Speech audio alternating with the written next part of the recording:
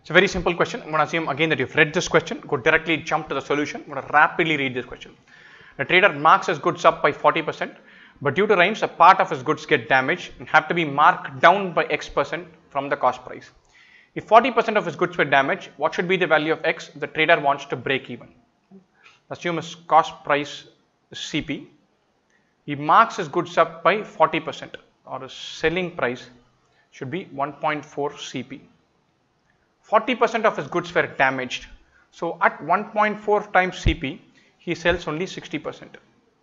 So he generates 1.4 into 60% or 0.84 CP he generates as revenue. He wants to break even overall. So he buys at cost price and makes 0.84 CP on the non-damaged goods. This he makes, but he wants to break even or he wants to make cost price totally.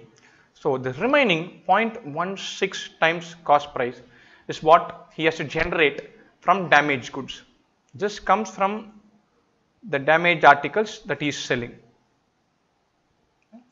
What percentage of his goods were damaged? 40% were damaged. So 40% is damaged. So 0.4 CP worth is damaged. Uh, from this, he is generating revenue of 0.16 CP. 0.4 he is generating 0.16 or he is generating only 40% of cost price as revenue after selling. 40% of 0.4, 0.4%, 0.4 CP into 40% is 0.16 CP. So he's generating only 40% of the price when he when he actually sells them or he's marked down by 60%. This X is 60%. 60% of the goods he marks up by 40%. The remaining 40% he marks down by 60% to make no profit, no loss. So the question here is how much should he mark down the remaining by in order to break even?